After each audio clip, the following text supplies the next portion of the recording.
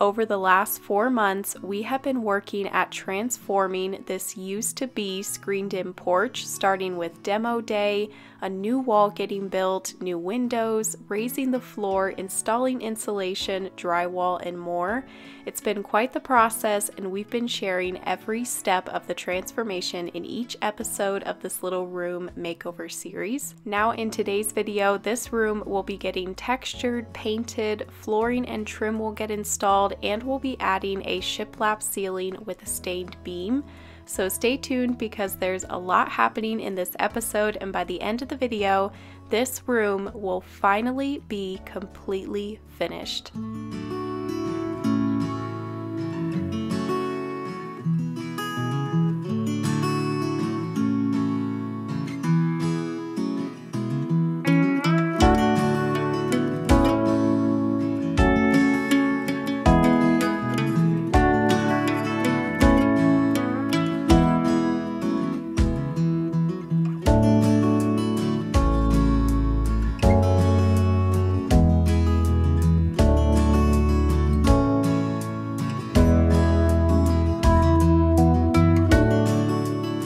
Morning everyone. So in today's video we are going to be working at hopefully completely finishing this room.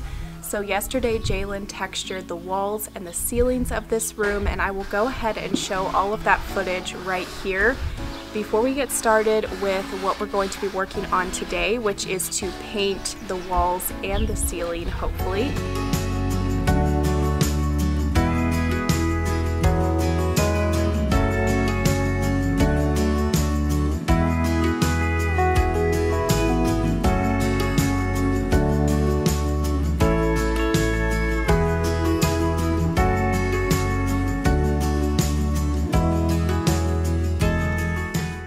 Okay, so this was the day before when Jalen was going to texture the walls and the ceilings. So first off, before he could start, we had to tape and plastic the windows and the doorways and all of that, just preparing the room not only for texture, but also for paint the next day. And I always get a few questions about why we put texture on walls and ceilings. And here in Arizona, it's very common for ceilings and walls to have some type of texture, whether that's just a very light or flat type texture or a very heavy texture. The texture he was doing in this room was like a light to medium flat type texture, which is also what we have throughout the rest of our house.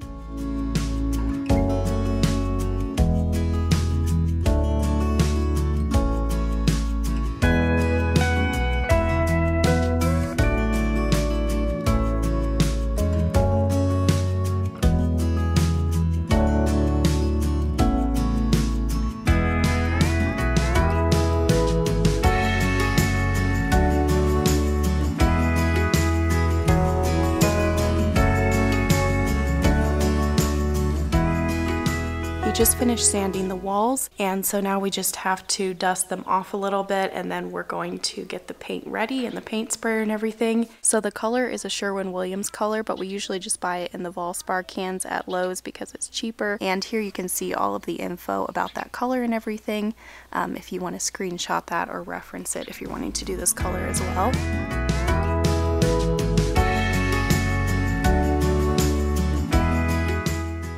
Originally, we thought that one gallon of paint plus the half gallon that we already had on hand was going to be enough to cover all the walls in this room. Once he started spraying that on the walls, we realized we weren't going to have quite enough. And once the can got down really low, the paint sprayer wasn't able to suck that paint out anymore because that little end on the hose has to be completely submerged under the paint. And so I took what little paint was left and brushed those little areas that were left on the walls that he wasn't able to spray. But I did end up having to get a second gallon of paint the next day just to finish up around the door um, and also around one of the windows.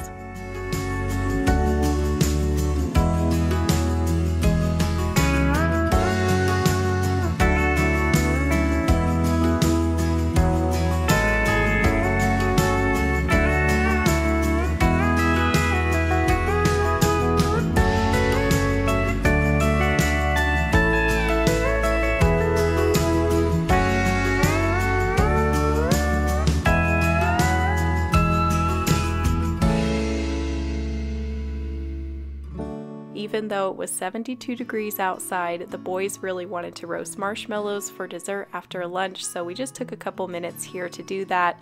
It was really fun and just nice to sit and relax for a couple minutes before we got back to work.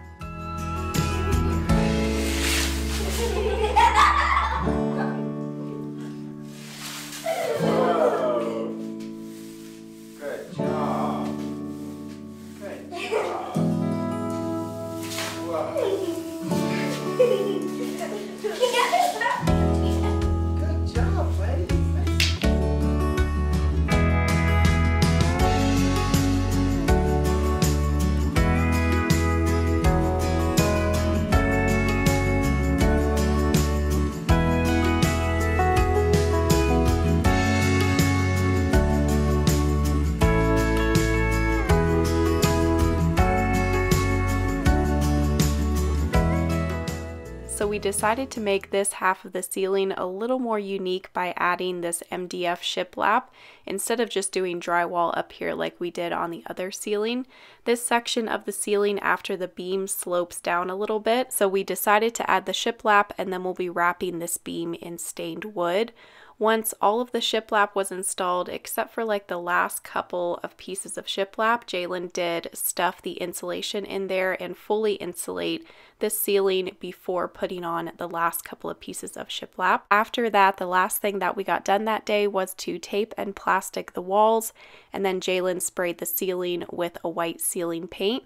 We let that sit overnight, and that evening we did head out and watch the sunset, went for a little walk, went and visited some family, and then the next morning we will get back to work on this room.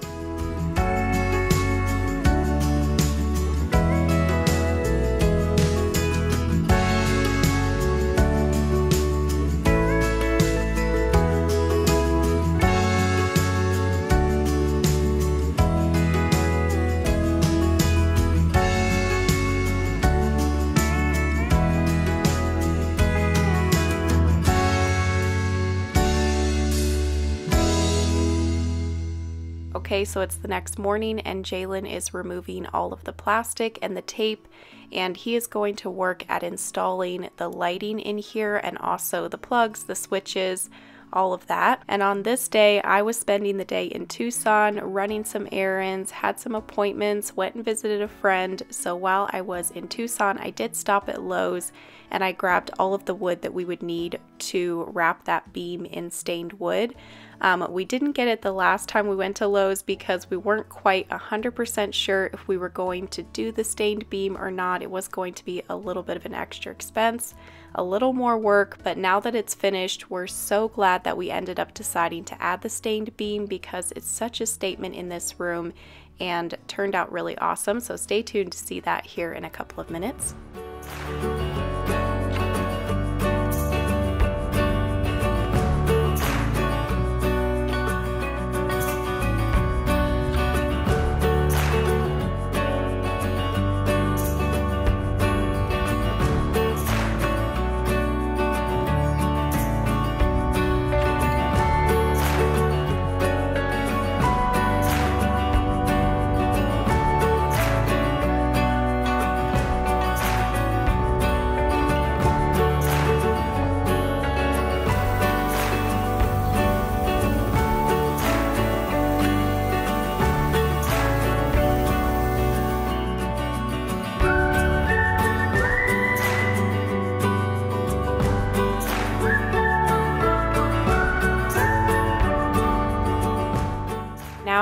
Friday morning and we were hoping to have the flooring and the trim installed by the end of this day and then we would have Saturday to work on the beam. Our goal was to get this room completely finished by the end of the week which we did. We still had to finish up a couple of things on Monday and I still do have a little bit of touch-up paint and different things like that to work on over the next week. So this flooring that he's installing is the same flooring that we have throughout the rest of our house It's a very affordable but yet very durable and good quality flooring. We got this from Lowe's. I'll show you a little peek at the box here in a little bit. That way you can screenshot it if you want to know the exact name and everything of this flooring. It's waterproof laminate flooring. I love the wide planks and the color and everything. They do have a couple of different colors of this exact flooring but this color that we have throughout our house is called Valencia Oak and we've had it in our home for I think it's been about three years now and it's just held up really well. Would highly recommend if you're looking for a very affordable but yet good quality flooring. Now with this flooring, you do have to add the underlayment first before you add the flooring. The flooring that we installed in the flip house was vinyl flooring and it also already had the underlayment attached to it, which was super nice he also didn't have to cut that with a chop saw, he could just cut it with his razor blade. We didn't have to put down any underlayment first, but it was a little bit more pricey that way. So it just depends on your budget. With this laminate flooring that you're seeing here, it is a little bit more work, but you do save quite a bit. This flooring is $1.69 a square foot. So we paid about $35 a box. So it came to, I think, around $350 to put flooring in this room which was a pretty good price.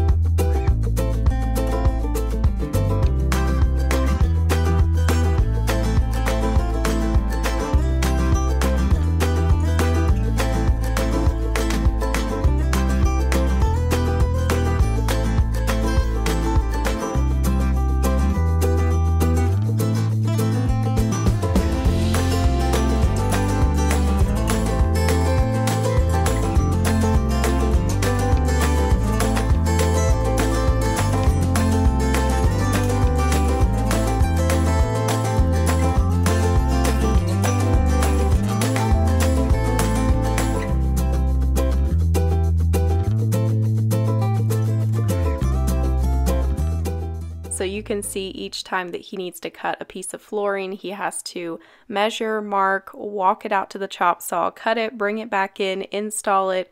So that's why that vinyl was so much nicer because he could just cut it with his razor blade right there.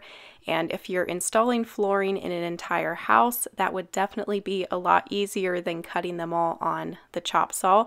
But it wasn't too bad for this room because his chop saw was just right outside the door. And some of these pieces he didn't have to cut but he was trying to go in somewhat of a pattern and follow the same pattern that we had in the rest of the house. And Levi was just loving this because he could finally run in this room and play in here. He was so excited when we finally let him come in here. Now that there was flooring down, he could run in and out of here from the inside of the house. And he loves this room because these windows are right at his height, so he can walk up to these, put his fingers on the window seal, and look outside. So now that the flooring's installed, he is just installing this trim and doing caulking around the top. And then he also did did fill in the nail holes with some wood putty. And then I'll be coming back probably next week and taping off this trim and painting it with a semi-gloss trim and door paint.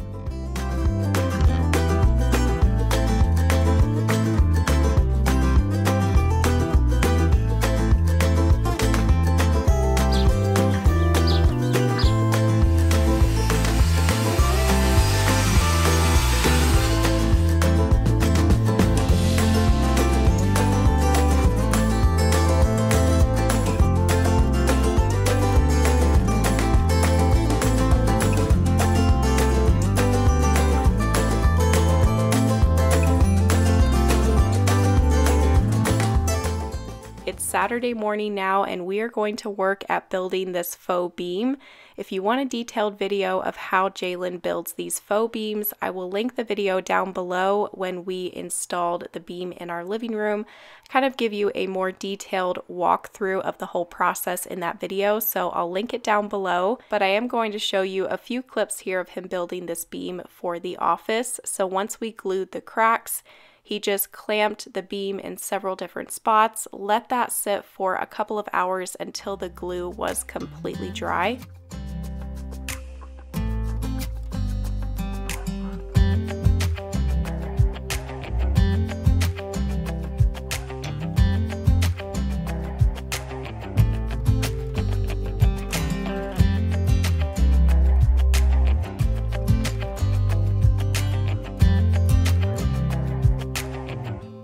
Once that glue was completely dry, Jalen sanded the entire beam and then I applied Minwax stainable wood filler to this joint in the center of the beam. And it's important to use a stainable wood filler if you're doing a wood project that you're going to be staining and you have to use a wood filler on it be sure that it is a stainable wood filler. And now Jalen is beating up the entire beam a little bit with a chain, and then he also used a hammer and a screw different things like that just to give it character and help it to look a little bit more rustic. He did also take a screwdriver and he ran the flat part of that, like the rounded part of the screwdriver, along the edges of this beam just to close up those gaps. So now it's time to stain. The first step is to apply a pre-stain wood conditioner. I always use this one from Minwax. Just brush that on with a brush to the entire beam, let it dry for about 10 to 15 minutes, and then I'm going to apply the stain and I'm using our favorite stain, Special Walnut from Minwax. I just applied one coat of that with a rag and then once that was completely dry, I applied a sealer to this beam and I like to use a clear water-based flat polycrylic sealer.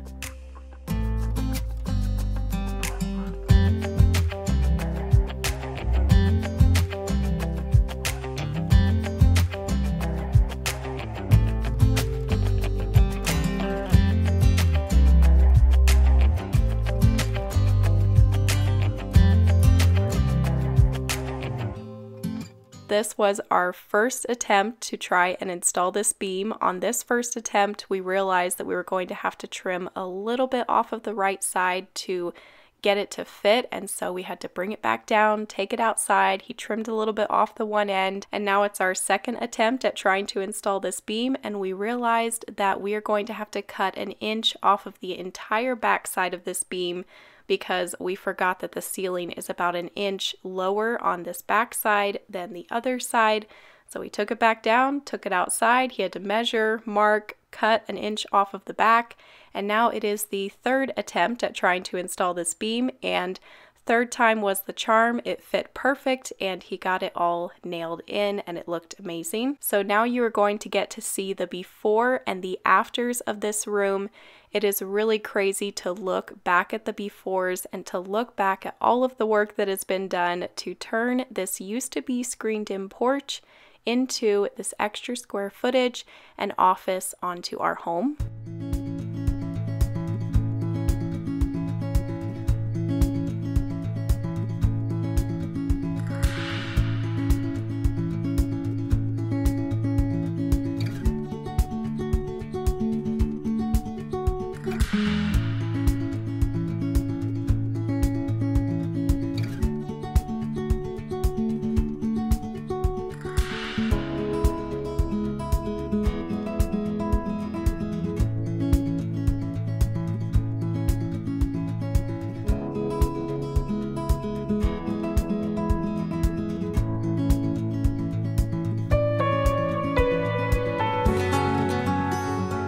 Okay, so the office is complete. This renovation has finally come to an end, except this drywall still has to be completed out here in the dining room.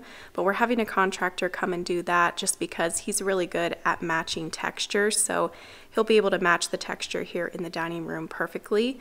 But other than that, and the doors that are going to go here, which will install those doors when we decorate and furnish this room, hopefully in like a month or so. I put this rug and desk in here just for fun. They're obviously too small for the space. I'm gonna have to do a larger rug and a larger desk but I'm just trying to start to get an idea of what type of furniture I'll be putting in here and how I'll be decorating, how big of a rug I'll need. Just realizing this floor has a nice squeak right here.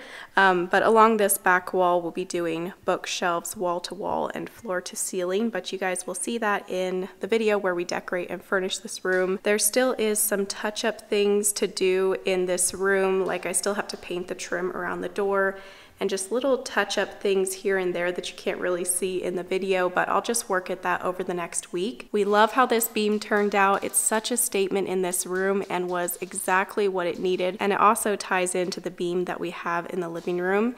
And just loving all of these windows. This is such a cozy, but yet bright and airy room.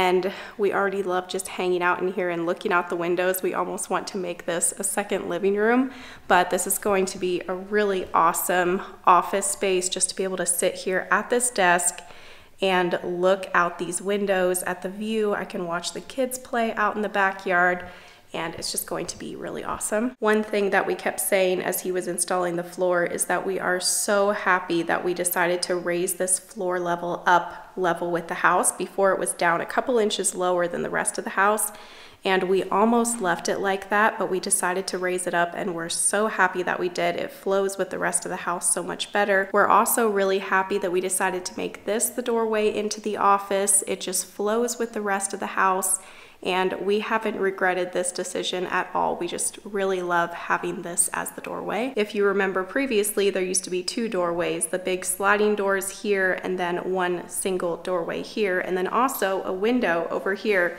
so it has definitely been quite the transformation and it's been so fun taking you guys along on this journey. And I'm going to have to close this video with a voiceover because I did film a clip talking to the camera closing out the video but the mic wasn't working apparently. So I will just close it off right here. Thank you all so much for watching. I hope that you enjoyed these last five episodes in this little makeover series of completely transforming this room. Thank you all so much for following along and your support, and I will see you next week on Tuesday with a new video. Bye!